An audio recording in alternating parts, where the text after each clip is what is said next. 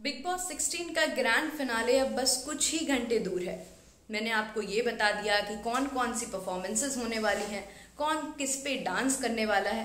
लेकिन एक और बड़ी खबर आई है सेट से कि प्रियंका जहर चौधरी, जिनको जनता का इतना प्यार मिल रहा है और एमसी स्टैंड जो वोटिंग ट्रेंड में सबसे आगे चल रहे हैं, इन दोनों में से कोई भी बिग बॉस 16 का विजेता नहीं बनेगा। आइए जानते क्यों क्या वजह है? मेरे साथ यानी एडमा के साथ ओनली ऑन टेली खजाना। तो पहले तो अपने पाँच कंटेस्टेंट्स की बात कर लेते हैं। अर्चना गौतम, जो बहुत ही मुफट हैं, जिन्होंने लोगों को बहुत एंटरटेन किया। शालीन मनोट जिन्होंने अपनी प्यारी सी पर्सनालिटी से फेक हो या फिर रियल हो, क्या फ़र्क पड़ता है? टॉप फाइव में तो आए गए हैं। इसके बाद बात करते हैं शिव ठाकरे की, जो बिग बॉस 16 मराठी के विनर रह चुके हैं। और अपनी जनता को उन्होंने इतना प्यार दिया और उनसे उतना ही प्यार वापस पाया। प्रियंका चहर चौधरी अकेली खेली, अकेले खेलने के दम पे यहाँ तक आई। और एमसी स्टैन भले ही बहुत लोगों को उनका नाम नहीं पता था, लेकिन हाँ जब वो एक बार बिग बॉस के घर के अंदर आए, सबको पता चल गया कि कितने ज़्यादा फ़ेमस कंटेस्टेंट हैं वो। अब बात आती है कि कौन जीतेगा।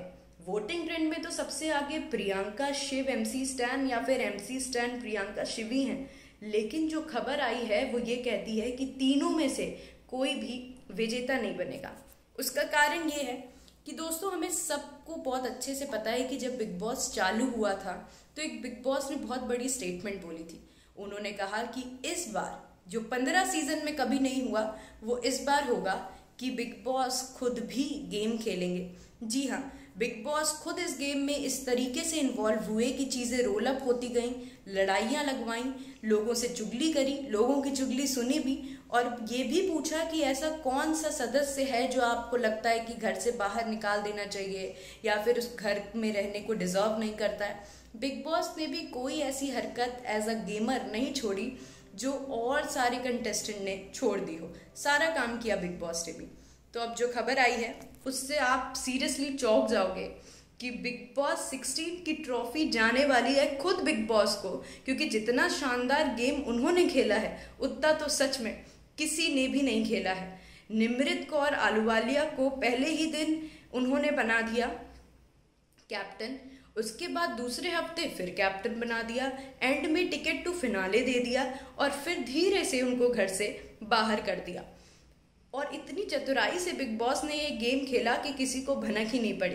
तो जो खबर आई है वो यही है कि इस बार क्योंकि शो बहुत ही ज़्यादा अलग है, इसलिए बिग बॉस 16 की जो ट्रॉफी है वो जाने वाली है खुद बिग बॉस को। अब देखते हैं इस खबर में कितनी सच्चाई है।